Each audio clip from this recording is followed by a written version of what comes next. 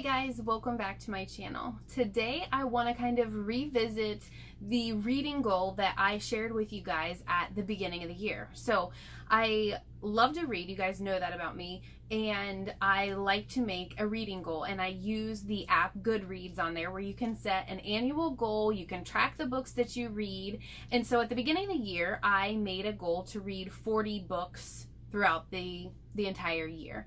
And um, when I just checked before taping this video, which we're about halfway through the year, I am actually at 47 books for the year. So I've already beat my written goal.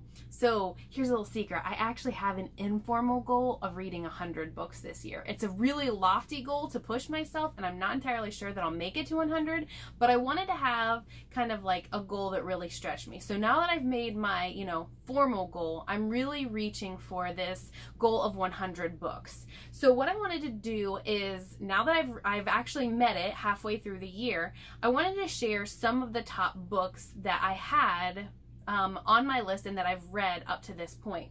So um, one thing to note is that a lot of them are actually like clean like rom-coms. So there's um, they're just romantic comedies and they I have found that um, the older that I get that I needed a more light-hearted book before I fell asleep. So before I was reading very suspenseful books as I was about to fall asleep and I was finding that I would try to fall asleep after reading for a period and my heart would be racing and it just wasn't cutting it anymore. And so I had to have something that I knew was going to have a happy ending. It was light and funny and the banter between the characters was just like like right on. And so I needed those to be the books that I was reading before I went to bed so that I was kind of falling asleep with a smile on my face, not feeling like someone was chasing me. So a lot of the books are romantic comedies and um, so I don't I don't apologize for that. They're fun and I enjoy reading them, but I do have um, other things in there. I am including audiobooks. I do count audiobooks as books that I've read. So some of the top ones that I'm including are actually audiobooks that I've listened to. I just find that along with um, you know podcasts when I'm doing things, it's nice to be able to listen to something. So if I'm folding laundry or washing dishes or doing things that are very mundane tasks, it's nice to be able to listen to something the same time. So some of them are um, audiobooks, but I also have included the read alouds that I'm reading to my kids throughout the year. So sometimes those are pertaining to what we're learning in school, and sometimes they're just some fun reads or just some things that I think might have some really great, valuable lessons that they need to be listening. So I'm just going to kind of highlight a few that really stood out to me that I wanted to share with you guys in all the different categories so that maybe if you're interested, if you're looking for a book, maybe you guys can pick one of these up, whether it's for your own personal personal reading goal and read reading time or if it's something to read aloud with your kids. So some of the books I have here to show you, they're either my personal copies or some things that I have from the library. Other things that we read early in the year that I did get from the library, I don't have a physical copy to show you, but I will highlight them and I'll put them in the notes below. So if you're interested, you would be able to find them. But the first one that I want to highlight was Turn Homeward, Hannalee. And this one was just an interesting read because we were studying the Civil War. And I wouldn't say that this is like one of the books where I was like, I loved this book. I love this book. I want to read it again and again. It wasn't necessarily why I included this one in my list. It was written from a, a little girl named Hannalee, and she was in the Confederate side of the Civil War. That was where she was from. She was from the South. And so I thought it brought a lot of interesting discussion because I felt like from us living in the north and from in where you know in the union a lot of books are written from that perspective. And i thought this one was interesting to read from a little girl's perspective of being on the confederacy. And just some of the things that they went through that i don't think that i had really recognized. And so we it, we just it lended itself to a lot of great conversation between me and the kids of the different things that were going on in that time. And so it's more of like a historical fiction. It, it kind of blends a little bit of historical fact with some fun storytelling. So that was why I included this one. It was just from a different perspective and we found it to be interesting. One that I don't have with me is Pippi Longstocking, and I just included this one because it was one of those classic reads, but the kids would cackle when I would when I would read it. So it was the very first one, and the kids just Pippi Longstocking just gets into all of these crazy things. Her sidekick is a monkey, and she has a horse that she does stuff with, and just some of the antics and the things that she would do, the kids would be like rolling on the floor laughing because they thought it was just a very funny book. So I always um, or I wanted to share that one because the kids just liked it. They genu- they've asked me to get the second book to read it because they enjoyed the first one so much. Okay, another one that I have that we read was Journey to Topaz. So when we were studying about um, the uh, World War II and about the bombing of Pearl Harbor, this kind of came into it because again we enjoyed this one because it also lended itself to great discussion and it was coming from a, a standpoint that we're we weren't terribly familiar with. So it follows a little girl named Yuki and she is Japanese American and so everything that happened she lived in California and after everything that happened with Pearl Harbor her family was detained in an internment camp. And so it's from her perspective and her family's perspective of being detained um, even though they were innocent and they considered themselves to be Americans, what it was like and how they were treated during the time of Pearl Harbor. And so, again, just another interesting viewpoint when we're used to seeing it from the other side. And I think a lot of times we forget um, how the Japanese were treated during World War II. Um, but it was just a very, a very interesting read as well. Good discussion um, for when you're studying, you know, World War II and Pearl Harbor. Now here we have, this one is a library book that we've just finished and I highly recommended this one. Um, it was recommended to me by a friend, but it's called Fish in a Tree. Sorry, there's a really, it's got the, the backing on it from a library book, but um, it's got a horrible glare in it, but it's Fish in a Tree. And we are just reading this one or just read this one because of the topic. So it's about a girl named Allie Nickerson and she struggles with reading and dyslexia and has a really hard time um, expressing that, you know, she's struggling with this and she doesn't want to be called dumb or stupid by her peers in her class but is really struggling with reading. And she finally has a teacher who recognizes this in her and gets her the help that she needs and recognizes too that people learn differently and it's got some really great lessons. I have a struggling reader and so I'm reading this aloud really hoping that he's getting it. I wanted to share it's one of my favorite quotes you know, when you're talking about people learning differently. So this is the teacher that's talking to Allie said, now don't be so hard on yourself, okay? You know, a wise person once said, everyone is smart in different ways, but if you judge a fish on its ability to climb a tree, it will spend its whole life thinking that it's stupid.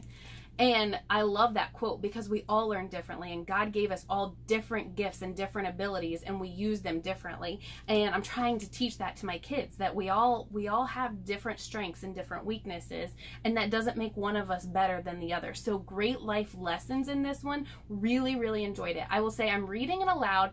It does have some bully scenes in it.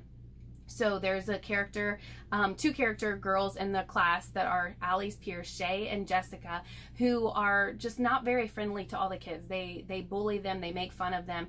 I will say I I try to read ahead and maybe make things a little softer, you know, just trying not my kids as being homeschooled aren't really exposed to being bullied. So it's caused a lot of discussion about bullying, but I try to um, soften some of the language that she uses when she's making fun of other kids because I just don't want to put words into my kids' mouths that they're not accustomed to hearing, um, like calling people stupid or, you know, things like that. So that's totally everyone's prerogative as they're reading, but that's just something that we're doing in with our family.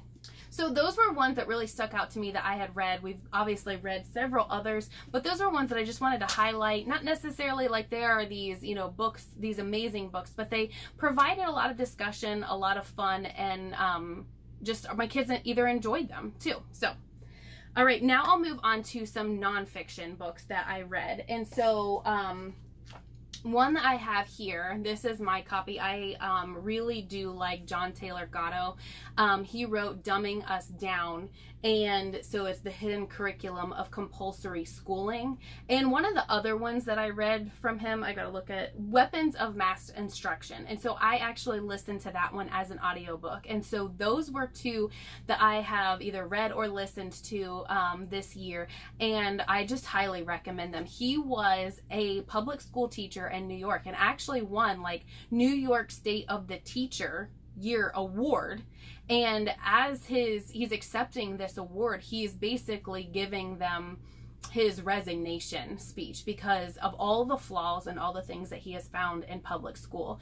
And so, um, and he just highlights them. A lot of what's in here are just excerpts of different papers he's written or speeches he's made as to what's wrong with the the public school system. So um, these are just I really enjoyed them. I, I if you search in here, I've like got whole sections like outlined and underlined because I just thought there were so many good nuggets. I did that in the audiobook as well where you can kind of like set little places to like hold where if you want to go back and listen to it and I found that I did that with that book as well. They're just really great books. Another book that I don't have a copy of because I got it from the library was Adventuring Together by Greta Eskridge. And that was just one that I thought was a great reminder of getting out and adventuring together, right? It was kind of one of the precursors to what we're doing, living in this RV. She was just talking about getting out to and and um, enjoying uh, the outside and the outdoors. And they don't have to be these grand adventures like living in a camper, but you know, go to a local park, get outside, go make memories with your family. And it really, her book just really spoke to me um, as far as this adventure we were getting ready to go on. But she even explains, like, it doesn't, your adventure doesn't have to look like everyone else's adventure, which I appreciated because people live in different areas. We have different opportunities around us. You can still find adventures and do things with your family without it looking cookie cutter and like everybody else. Now I just want to mention some of the fiction books that I have read. So one of them was 1984 by George Orwell, and I read this aloud with my husband and I. We just kind of would use it as a way to kind of read at the end of the day and just kind of have something to discuss. But um, just like Dumbing Us Down, I was underlining so many things. I found it so pertinent to what was going on in today's society. Um, I did not care. Um, actually, both my husband and I, we were not a huge fan of the ending of the book, so I won't give you any spoilers, but just wasn't um, our favorite. But I will say there were so many good nuggets throughout as far as just it I felt like he wrote it in the 40s or 50s. Um, let's see. 1949 and I just thought holy moly like how is he it seems so pertinent for today and it was just really interesting how he could have written this a year ago um, so I highly recommend this one just very thought-provoking and an interesting read um, the other the other ones I don't have as well. So several of them I read on my Kindle. So I know I share that I like a lot of the romantic, clean romantic um, rom coms or just fun stories like that. And so I wanted to give you a couple of authors because I've read a lot of their books over the course of the year. And one is Shari Tapscott. She wrote she has written a lot that I really really enjoyed. If you want particulars of which ones I would recommend um, that I found to be really really good, um, send me a message or you know drop a question below and I can share the exact ones that I really enjoyed. Another author that I have really enjoyed, um, she just has a really great way of writing clean romances as far as just the banter back and forth. A lot of them are like enemies to uh, lovers kind of thing. Um, but Sarah Adams. And so both of those uh, ladies write really good clean romances and they're just fun reads. So again, if you want particulars, just go ahead and ask and I can send them your way. But another book that I wanted to highlight, and I know I've shared this before, is Code Name Helene. And so this one was just phenomenal. I could not put this one down. It's really long, but it's set during World War II about uh, a um, English spy. She's a woman and she uh, turns into this um, English spy who is working for uh, the resistance against Hitler and the Gestapo.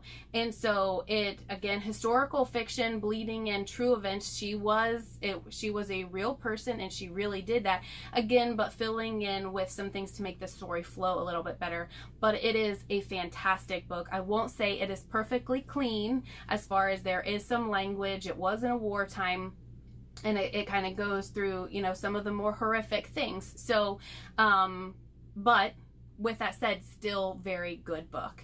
So, um, yeah, those are the books that I wanted to highlight for you guys. If you have any questions as to any of the books that I've read, go ahead and drop them below. You guys know I'm happy to answer any questions about that. And um, until next time, have a blessed day.